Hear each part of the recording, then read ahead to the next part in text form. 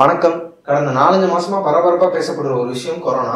கொரோனானா என்ன? அது எப்படி பரவுது? பரவுறதை தடுக்கிறதுக்கு என்னென்ன பண்றாங்க? ஹெல்த் கேர் ப்ரொஃபஷனல்ஸ் அவங்கள எப்படி ப்ரொடெக்ட் பண்ணணும்னு நம்ம கவர்மெண்ட் சில வழிமுறைகள் சொல்லியிருக்காங்க. இதெல்லாம் பத்தி தான் இந்த வீடியோல பார்க்க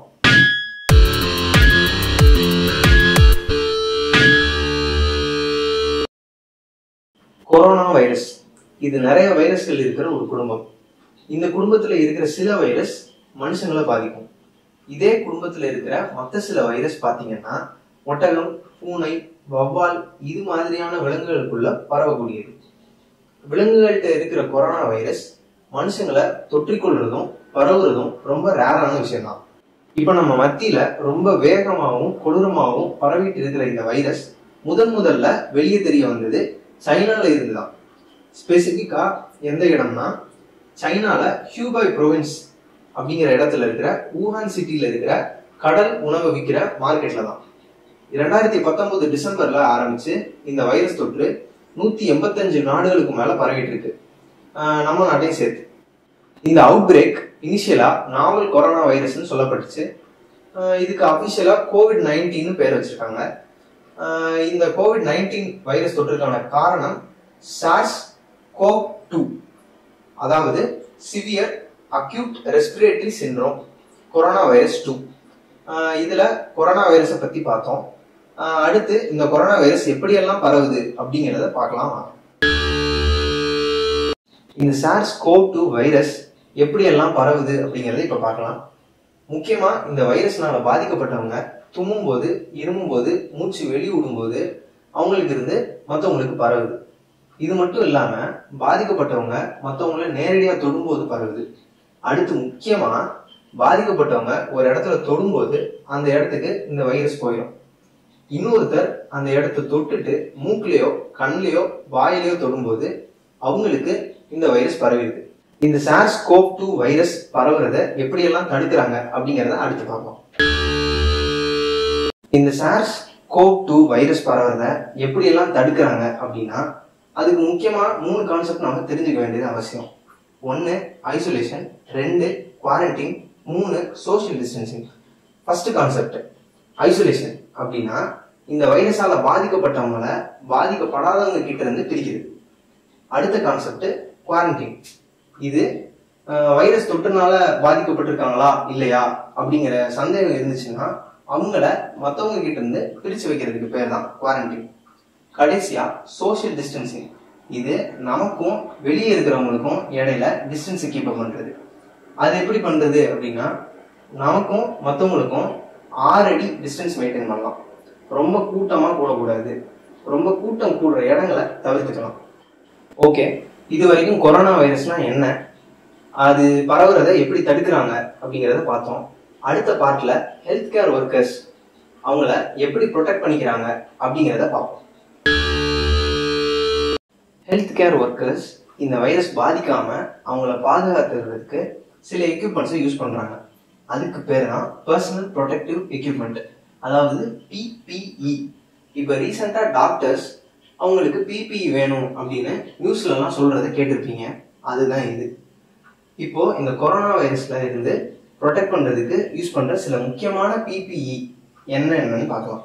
ஒன்று ஃபேஸ் ஷீல்டு அண்ட் காவல்ஸ் ஹாஸ்பிட்டலில் இன்ஃபெக்டட் பேஷண்ட்ஸ் தும்மும்போது இருமும்போது இன்ஃபெக்ட் ஆகாமல் ப்ரொடெக்ட் பண்ணுறதுக்கு ஹெல்த் கேர் ஒர்க்கர்ஸ் அவங்களோட கண்ணு மூக்கு வாய் எல்லாத்தையும் கவர் பண்ணணுமா இல்லையா? அதுக்கு அவங்க ஃபேஸ் ஷீல்ட் அண்ட் காகுல்ஸை யூஸ் பண்ணுவாங்க. ரெண்டாவது மாஸ்க் இந்த ரெஸ்பிரேட்டரி வைரஸ் அப்படின்னாலே அது அப்பர் அண்ட் லோயர் ரெஸ்பிரேட்டரி ட்ராக்டை தான் டார்கெட் பண்ணும். அதை பாதுகாக்கிறதுக்கு மாஸ்க் யூஸ் பண்ணுறாங்க இந்த மாஸ்க் வந்து பாதிக்கப்பட்டவர்களையோ இல்ல பாதிக்கப்பட்டதா சந்தேகப்படுறவங்களையோ டீல் பண்ணும்போது மாஸ்க் கண்டிப்பா போடுறாங்க. இதுல ரெண்டு டைப் இருக்கு. ஒன்னு ட்ரிபிள் லேயர் மெடிக்கல் மாஸ்க் ரெண்டாவது N ninety five respirator mask triple layer mask வந்து disposable and fluid resistant mask அடுத்து N ninety five respirator mask இதோட ஃபில்ட்ரேஷன் எஃபிஷியன்சி ட்ரிபிள் லேயர் மாஸ்கோட அதிகம். ட்ரிபிள் லேயர் மாஸ்கோட டைட்டாக ஏர் சீல் பண்ணும். இது ப்ராப்பராக யூஸ் பண்ணால் ட்ரிபிள் லேயர் மாஸ்கோட எஃபிஷியன்ட் ஆனது. மூணாவது கிளவுஸ் இது வந்து வைரஸ் பாதிக்கப்பட்டவங்க தொட்ட பொருளையோ இடத்தையோ தொடும்போது வைரஸ்ல இருந்து ப்ரொடெக்ட் பண்றதுக்காக கிளவுஸ் யூஸ் பண்றாங்க.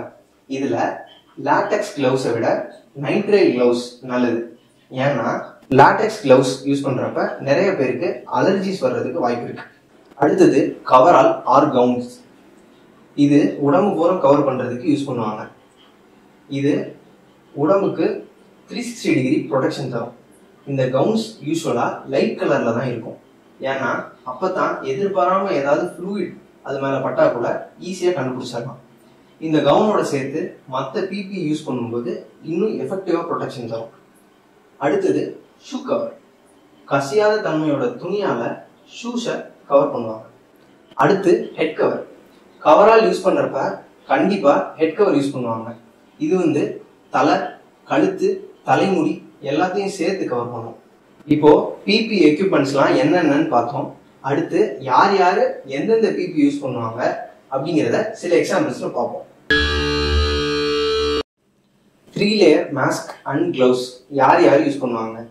இமிகிரேஷன் கவுண்டர்ஸ்ல இருக்கிறவங்க airport security handheld scanners use பண்றவங்க ஆம்புலன்ஸ் டிரைவர்ஸ் அங்கன்வாடியில் ஒர்க் பண்ணுறவங்க health care staffs quarantine patients இவங்கெல்லாம் ட்ரிபிள் லேயர் மாஸ்க்கும் கிளவுஸும் யூஸ் பண்ணுவாங்க.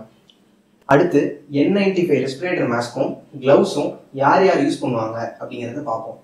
சானிடரி ஸ்டாஃப் அதாவது தரையெல்லாம் சுத்தம் பண்ணுறவங்க ஐசோலேஷன் ஃபெசிலிட்டியில் இருக்கிறவங்க பேஷண்ட்டை ஆம்புலன்ஸில் டிரான்ஸ்போர்ட் பண்ணுறவங்க டாக்டர்ஸ் சேம்பர்ஸில் இருக்கிறவங்க நர்ஸ் பாராமெடிக்ஸ் குவாரண்டைன் ஃபெசிலிட்டியில் இருக்கிற ஹெல்த் கேர் ஸ்டாஃப் இவங்கெல்லாம் என் நைன்டி ஃபைவ் ரெஸ்பிரேட்டர் மாஸ்க்கும் க்ளவுஸும் யூஸ் பண்ணுவாங்க கடைசியாக ஃபுல் பிபிஇ அதாவது எல்லா ப்ரொடெக்டிவ் எக்யூப்மெண்ட்ஸ் எல்லாத்தையும் ஒரே டைமில் யூஸ் பண்ணுறவங்க யார் யார் அப்படின்னா சிவியர்லி இல் பேசஞ்சர்ஸ் இருக்கிற ஐசோலேஷன் ஃபெசிலிட்டியில் ஒர்க் பண்ணுறவங்க ஹாஸ்பிட்டலில் எஸ்ஏஆர்ஐ பேஷண்ட்ஸை மேனேஜ் பண்ணுறவங்க ஹாஸ்பிட்டலில் எமர்ஜென்சி கேசஸை டீல் பண்ணுறவங்க இவங்க எல்லாரும் ஃபுல் பிபிஇ யூஸ் பண்ணுவாங்க.